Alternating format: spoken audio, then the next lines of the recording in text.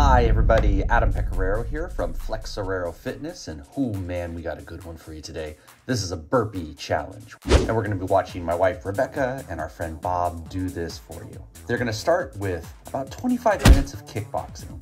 Uh, this helps them get warmed up, dynamically stretch, and then work on athletic attributes like agility, coordination, mobility.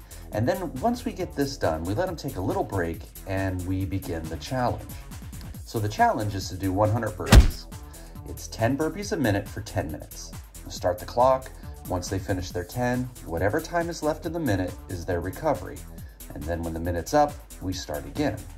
It's very, very important that you build into this workout if you're not used to doing burpees. One thing that I would also recommend is that if you really don't feel confident with a burpee, you start with a squat thrust and possibly even an incline squat thrust to help build the skill. So here's an example. Becca here is demonstrating a type of squat thrust. She's doing jumping jack feet and a little hop. Now you can do just down, out, in, and up with no jumping jack feet and no hop. But notice that she's on a bench, less intensity in the exercise, and allow her to start to build the muscular skill, the mobility, and the stamina required to do these exercises. In time, you could add in a push-up off of the bench. If you don't have a bench, you can use a chair or any solid surface that you feel safe that you can work with. And then in time, she would progress to doing a full burpee on the ground with a push-up. How many burpees have you done, Beck? 90, right? Burpees aren't always the most fun, but they are so beneficial for you. Uh, it's always important to try to challenge yourself, and these are definitely an exercise that's worth the challenge. 91.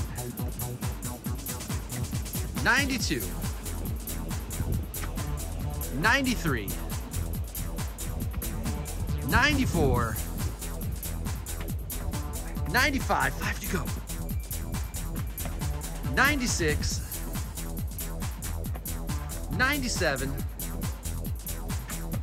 98. Look at this. You're right there. 99. Last one. Best one. 100 burpees.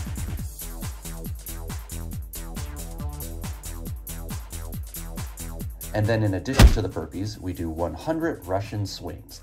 And this would be done at a pace of 20 swings every minute for five minutes. It's recommended that you go with light weight. And Beck and Bob have obviously put on shorts, not just because of the previous workout. Today is actually over 100 degrees, and they are working out here in the late afternoon, and it's still pretty hot out. Beck is working with a 15, I think Bob's got a 25 or a 30.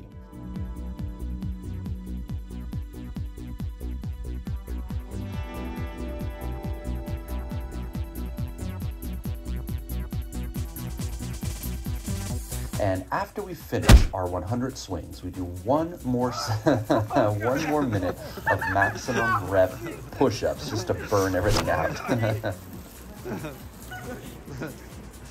Let's say, does it does it help? oh, that, that felt good, John. And that's it, short and sweet, but super effective. If you don't do the kickboxing, it's gonna take you about 20 minutes to do the burpees and the Russian swings and the one minute of push-ups, but it's probably gonna be the most challenging workout you might have ever done. Well worth your time. Thank you so much for watching. Click the thumbs up, leave a comment, and subscribe. Bye.